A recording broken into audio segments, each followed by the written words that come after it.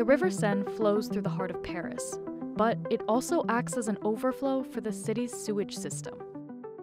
We analyzed water samples to see just how dirty it is, as Olympic athletes are set to dive in just a few months from now.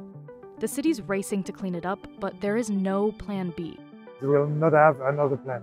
The Wall Street Journal went inside the $1.5 billion engineering scramble to see if it's even possible to sanitize it in time. And the River Seine becomes a seething mass of splashing arms and kicking legs. Swimming has been banned in the River Seine for over a hundred years, and the city's combined sewage system has been polluting it for centuries. That's because its wastewater and rainwater flow into the same drainage pipes. During heavy rains, it can overflow into the river. Central to the city's operation to try and stop that is this vast underground tank. The aim is to store the excess fluid so it can't flow into the waterway. So here's how it will work the basin is located here. This tunnel will connect it to the sewage network, and gravity will move wastewater into the tank during heavy rains. There, the liquid will be held until it can be re released to a processing center.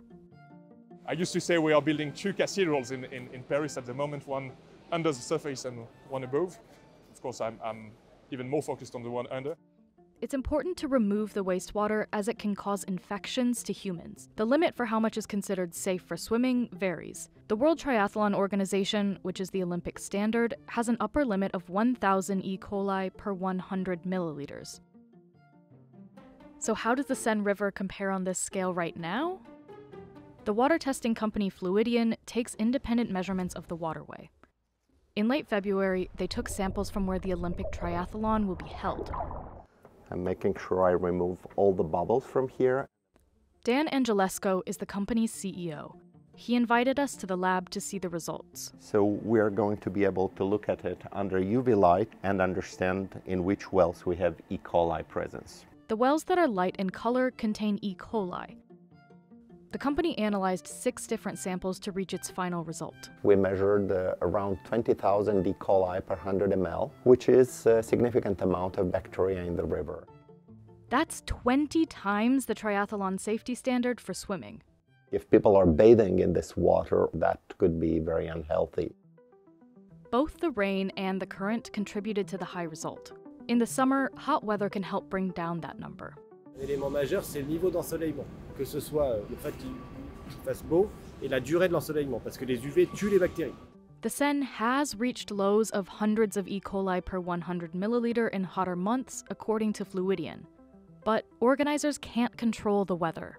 After heavy rainstorms, bacteria can spike again in just a few hours. City officials say they may have to delay swimming events by a few days depending on the water quality. That's why completing this tank is vital to controlling the pollution. If the work is not completed in time, then probably we'll see similar similar water quality uh, effects as in the past years where larger storms generate relatively big pollution events which may take a few days to clean up. City of Paris officials say it will be able to hold 13 million gallons. That's enough to fill 20 Olympic sized swimming pools. Uh, 50,000 uh, meters square of capacity. Uh, we are, will be able to manage the rainwaters coming in the sewers. Workers at the site are still racing to finalize it. Officials say it will be put into service in May.